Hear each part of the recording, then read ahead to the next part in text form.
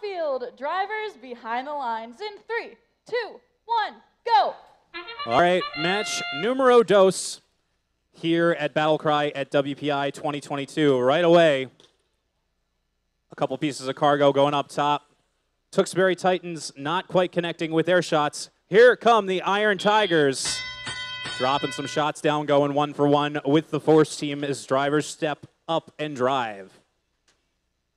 228, bada bing, bada boom. Dropping two pieces of cargo up high. Just a reminder each alliance needs 25 pieces of cargo because 20 is just too easy. Gotta say it. It's battle cry. 25 is the magic number. Do not go off the graphics except for the green check mark. The green check mark will indicate when you get the ranking point, the number will not. 28 to 20, Blue Alliance with the advantage right now, but here come the Tewksbury Titans doubling down two shots into the lower hub. Fusion stuck up on a piece of cargo. Nice teamwork there from the machine from Tewksbury, pushing them off of that piece of cargo. We've got 87 seconds remaining in this match. All right, 4909 Bionics from Billerica strafing across the field trying to line up one of their shots. They get one to go. Their partner, the Force team from Hollis Brookline High School, getting their vision system lined up. They were a force to be reckoned with this season, showing that they can still put the points away. Going, oh my goodness, bunch of blueberries going up top into that upper hub. We've got just under a minute remaining. Blue with the advantage still. Red, 10 pieces of cargo away from the ranking point. Blue, only six, with just under 45 seconds to go in the round.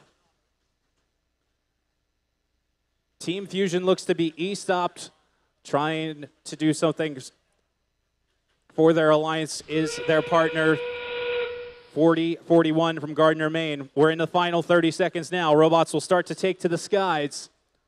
Blue Alliance successfully getting that ranking point. Nicely done there. 64 to 37. Now they're going up for that traversal rung. Can we get a double traversal in match number two? Nine seconds to go now. 228 and 1073. Oh no. Oof. Two, one. Time runs out here on the field. 228 hanging out up top for the Blue Alliance. Tewksbury Titans also getting to the mid rung for red. We'll be back with your official results in one second.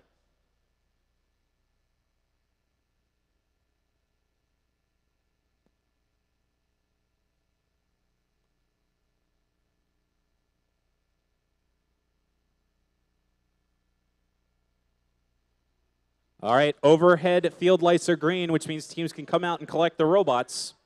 And with that, your official results up on the board. The winner of that match is your Blue Alliance with a score of 83 to 43.